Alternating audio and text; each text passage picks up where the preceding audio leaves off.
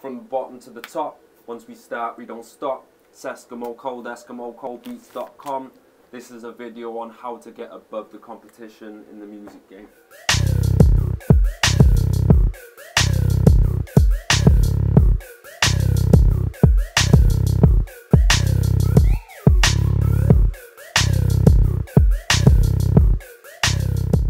Yeah, look around, you know, part of my job and what I do is to look around see what's going on.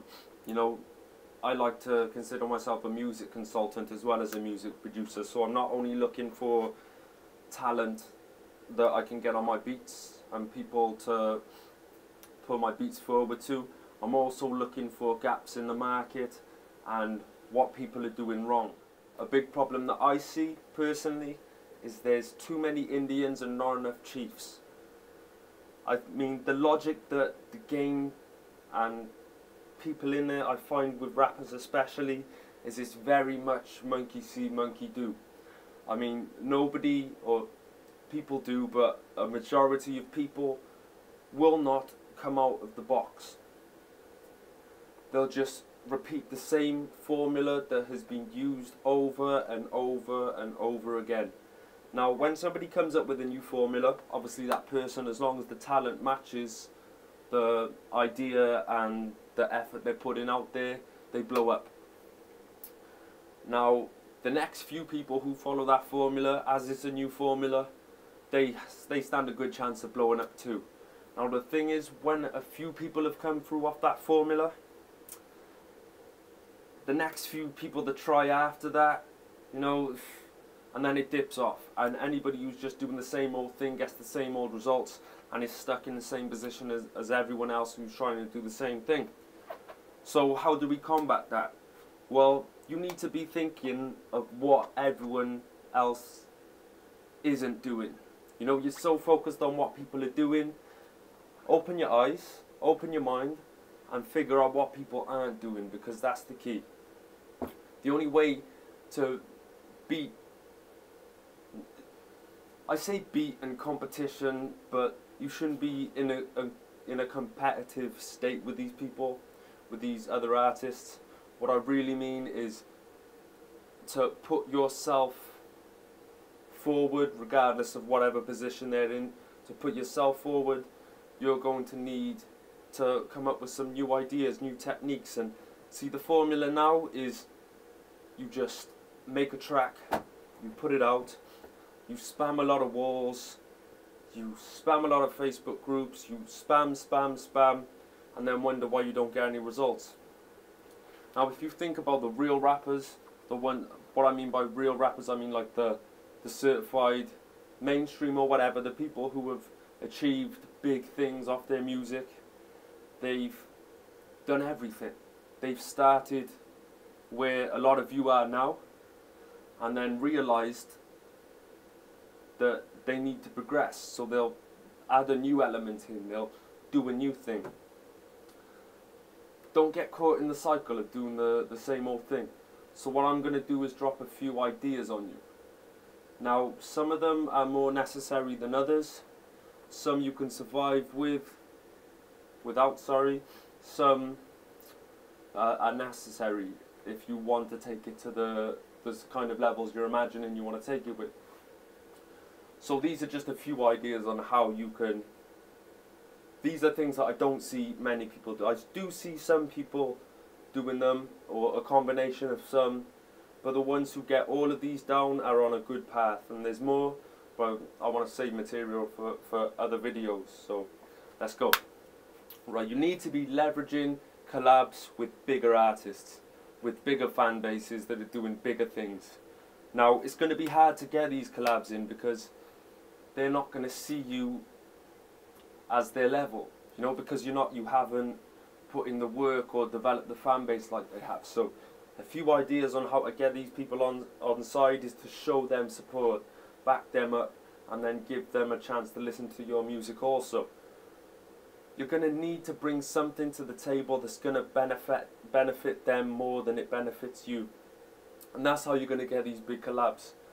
When you're talking to them, don't be like I this, I that, I this, I that. Use more use the word you more. Put the focus on them. You know, you, we, these kind of words. You know, where it seems more of a. The more they get used to the idea of you two doing something together, the more likely that's going to happen. And show them you deserve to rank with them by skill wise. You know, the, a combination of those things are going to make a, co a collaboration with a bigger artist a lot more likely. Submit all your music to as many blogs as you can as often as possible. It's going to be a long process, you're going to feel like you're not getting on, but eventually you will start seeing your stuff appearing on these blogs when they see how much work you're putting in. Okay, you also need to be finding out who's popping near you. You know, make friends with the people in your area that are popping because unity is strong. I mean, let's look at Chicago. For a while they went quiet. Back in the day they had their Commons, their Kanye West, you know, a lot of different people. But now it's popped off again through unity. You know, a big squad of people, multiple squads coming together and, and the whole city having a buzz is just so powerful, you know. Be doing that in your area, you know, build up relationships, build up squads, teams. You're laughing, it will happen by kicking in the you can bully your way in. Bully's a bad word, but you can you can force yourself into the limelight, so to speak.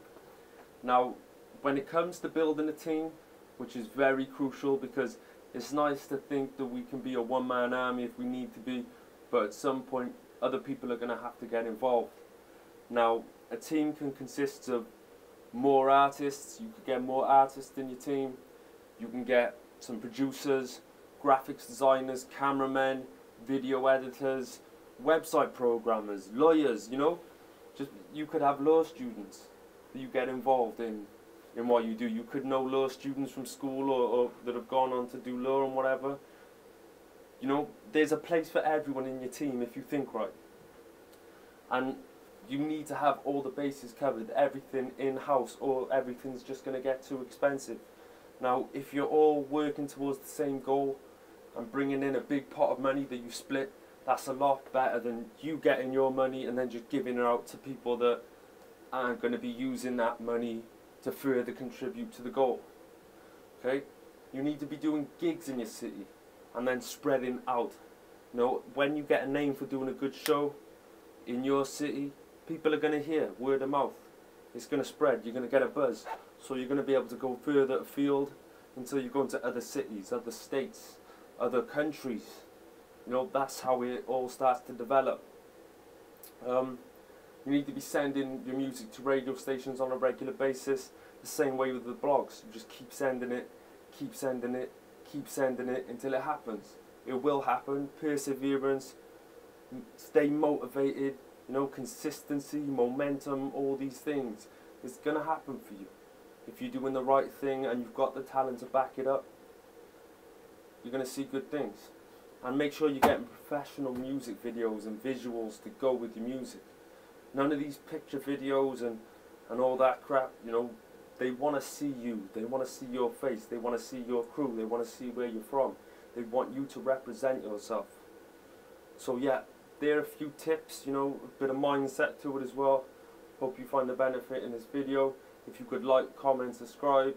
You know the score, Esskimo Cold EsskimoColdBeats.com from the bottom to the top. Once we start, we don't stop. Peace.